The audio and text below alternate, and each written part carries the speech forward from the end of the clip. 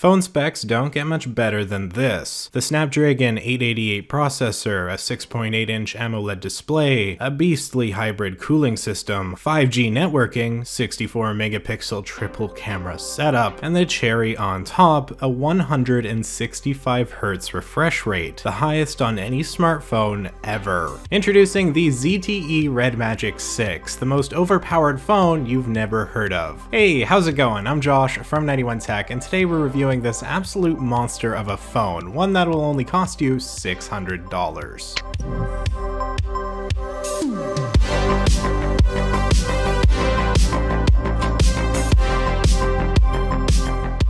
When it comes to the display and the refresh rate, this phone has every other phone beat at 165 Hz. There are 140 Hz phones, 120 is pretty common nowadays, but 165 is just ridiculous. Now yes, once you get to 120, you're gonna get diminishing returns as you push things further, but 165 is still objectively better when it comes to a smooth, potentially competitive experience if you're gonna be using this phone for what it's really marketed towards gaming. Nubia's Red Magic line of phones has been around for a while and have been some of the best budget gaming options out there, competing spec-wise with the ROG phone and others while still being cheaper. Although it's worth noting that right now the Xiaomi Black Shark 4 is on the way at $500 with 144 Hz and a couple advantages, but it does only have the Snapdragon 870 processor versus the 888. And then there's the Lenovo Legion phone that was just announced. It's uh, closer to $1,000, but it looks pretty awesome. And Lenovo's a great brand, so there's some advantages there to that phone. I'll let you look into it if you're curious, but regardless of how cool it looks, it is still quite a bit more expensive. And looking at what Nubia has done here with the Red Magic 6, hardware-wise, this phone is at an insane value, and there's absolutely no denying that. So why have you probably never heard of it, or even Nubia at all? Well, this phone is straight out of China, without the brand recognition of Huawei. You probably won't see the biggest YouTubers do video on it, except to maybe purely talk about the technical achievements with the refresh rate, but I want to talk about how this phone truly manages to stand out in a saturated smartphone market, and whether or not it's actually worth buying, because by the numbers and $600 price point, in theory, it really should be a no-brainer for those looking for a great new phone, especially if you plan to play a lot of mobile games. Nubia did reach out and send this phone to me for review purposes, by the way, so this video is not sponsored, but I also didn't buy it myself, just want to make that known. I've had it for a few weeks now, and the pre-orders began on April 9th, with the phone officially launching on the 15th. Alright, so what's the catch here? $600 for this? Well, the Red Magic is a Chinese smartphone, which means awkward software, some strange English translations here and there, and a lot of compromises in many minor areas that just kind of add up. So let's start this review off with the design, certainly its boldest feature. We've got a glass front and back, with that back having a wild look to it that just screams to the world that you truly are an epic gamer. That logo lights up with RGB, because why not, along with those two little strips by the logos, and the whole crisscross red and black design is certainly something. The color is called Eclipse Black, and at the moment it's the only one available, with there also being a Red Magic 6 Pro colored in a so-called Moon Silver. They didn't send me the Pro, but there's really not a ton of differences to speak of. It's got 16 gigs of RAM as opposed to the 12, as well as 256 gigs of storage as opposed to 128 here. The glossy glass on the back is a fingerprint magnet and a half, which isn't uncommon, and there's a significant curvature with a very, very minor camera bump to host that 64 megapixel camera setup. That Tencent logo on the side here is only on the Chinese versions. The global models won't have that uh, because I received mine early. It's the Chinese version. So the sides are a flat aluminum that feel cold to the touch, and we have a few different features to note. We have a couple touch bumpers here for gaming, much like an actual controller. We have a genuine fan grill here. The cooling system on here is ridiculous, and I doubt there's any game you could play to get this thing even somewhat warm. It's seriously nuts. It's also very loud uh, when you have the fans fully running. We have a headphone jack, which is a fantastic inclusion, a USB-C for charging, and there's this red switch, which you might expect to be a do not disturb slider, but it's not. Sliding it actually puts us into what I would like to call epic gamer mode, where we have a cool animation and UI to look through our games and have direct control over the hardware and the temperatures. You're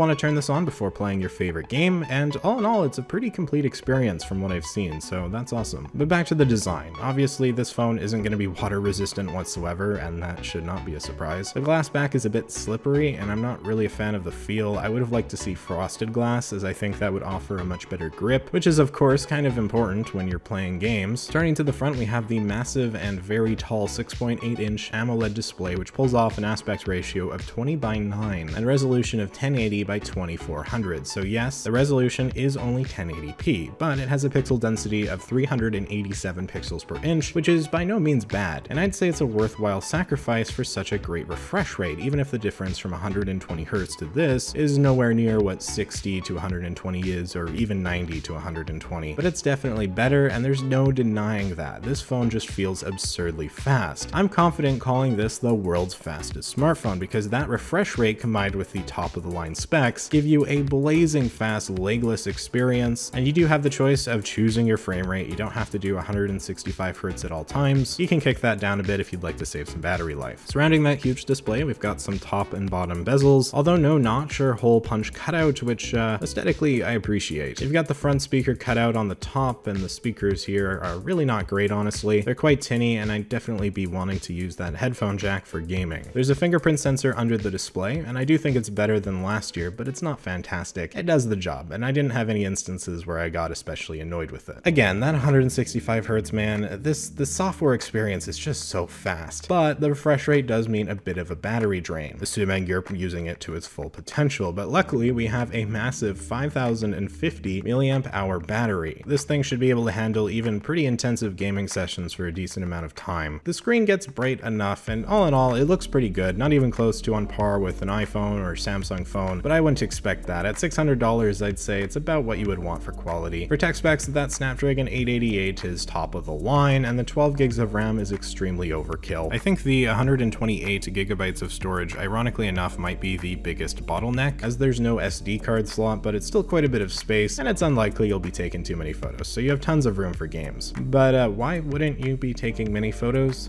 Well, the camera might be 64 megapixels, but it's really darn mediocre. This is unfortunately par for the course with most Chinese smartphones, a super high megapixel count to impress you, along with a couple extra lenses for good measure, only for the results to be quite disappointing. And I mean, it can take a nice photo, but it often lacks detail and the clarity you would find in another phone even around the same price point. You're not buying the Red Magic for the camera, but it is definitely a downside. Those two extra lenses are also more for show than anything else. One is a pretty bad 8 megapixel ultra wide, and the other is a 2 megapixel macro lens because I don't even know. Honestly, who is asking for macro lenses on these budget phones? The selfie camera on the front is 8 megapixels, and it's not great, but it does the job. All in all, that's really what I would say about the camera. It does do the job, but it's certainly not for the kind of person who wants to take a lot of photos, so straight up avoid it if that's you. Look for an iPhone or maybe a Pixel, that's gonna do you a lot better. The value of the Red Magic is in the base hardware, and the compromises surrounding it definitely add up, but that initial value with the display and crazy performance, I believe still manages to overrule things, mostly. Haptics are bad. You're missing quality of life features like water resistance and wireless charging, and the software is about what you would expect from a foreign phone of this nature, in that there's some strange quirks and bad translations. For example, when adding a game to the Epic Gamer mode, it says remove and join, not, you know, add or whatever. I think if these companies would actually get a native English speaker on the team, a lot of these minor annoyances could easily be rectified. And I will say, I noticed a few bigger mistakes early on when I first got the phone, but some of those have actually been fixed through a couple updates, so that's pretty nice. But updates, that's another major downside of this phone. It runs Android 11, and you shouldn't expect any other major software updates ever. There will be some minor ones and security improvements, but the Red Magic 5G from a year ago is still stuck on Android 10, so yeah. There's probably some runarounds and whatnot people will figure out, but it's an unfortunate aspect of these types of phones that is much too prevalent from tech coming straight out of China. There's a real stigma surrounding them, and I wish that wasn't the case, but there is a reason for it. That being said, the base software here is actually not too bad. The skin is very plain, there's very little bloatware, and the Epic Gamer mode is quite cool and useful. Going into that and starting up a game, you have a fair few customizable options, such as having a frame counter, choosing how performance is focused, your cooling options, so on and so forth. Not all games will do 165 Hz, it's a bit hit and miss. For example, the new Crash Bandicoot app only does 60, but Subway Surfers has an uncapped frame rate, which is great, and is the smoothest I've ever played this game for sure. I remember playing a lot of it when I was quite a bit younger, hardware, I'm sure this phone would have blown my mind in comparison to the iPhone 4 I had back in those days. Uh, but obviously Subway Surfers isn't the game you're probably going to be wanting to play with this thing. For a lot of competitive titles such as Call of Duty or Fortnite, you should be able to have a higher frame rate. All in all, this phone is worth $600. It is, the value is there. And even with the downsides, the absolute sheer overkill in the specs make up for it, but only for a very specific kind of person. For gamers, sure, but I still find it hard to believe there are that many dedicated mobile gamers out there. Yes, games like Fortnite are the full game, and you can compete with anyone, even people playing on their PCs, and you're definitely going to do better with the game on here than you would with your average 60 Hz phone. But wouldn't most still rather play on their console on their big TV, or if they're dedicated enough on like a gaming PC? Perhaps I'm just plain wrong, and I'll admit there has to be a group that appreciates phones like this, otherwise, you know, these phones wouldn't exist in the first place. And if that's you, this is a pretty great buy. And I'll also concede I'm looking at this from a North American bubble. Different parts of the world are gonna be different. And the other kind of person this phone is for is the very uh, tech savvy among us, those willing to ignore the compromises made in order to get that pure power, even if it means a lack of software updates in the future, unless again, you know, some get arounds are found to uh, update it anyways. But for everyone else, I think it's still a very good idea to stick with the more mainstream options within the Western world, like an iPhone 11, OnePlus, or Samsung phone. There are other high refresh rate displays, at least on the Android side, and if you're getting 120 Hz, you're doing good enough. 165 is great, but it's not the improvement one might expect or hope for. Next year, if we get 240 Hz, that could be a completely different story, so we're gonna have to wait and see what happens. In the very least, though, I do have to applaud Nubia for continuing to push the limits of mobile technology. I'm very excited to see what comes next. Even if it's hard for me to recommend the Red Magic 6, it's still a super cool phone, and I had a lot of fun reviewing it. So big thanks to Nubia for sending it out to me. And if you're interested, I will have a link to the page in the description below. It's not an affiliate link, so if you buy it, you're not giving me any money, but uh, yeah, it'll be there if you want to take a closer look. And with that, I think I'm right about done here. Would any of you be actually interested in a gaming phone like this, or the Asus ROG, or the Legion, or something like that? Make sure you let me know in the comments down below, and definitely if you already own one. If you found this video interesting, or even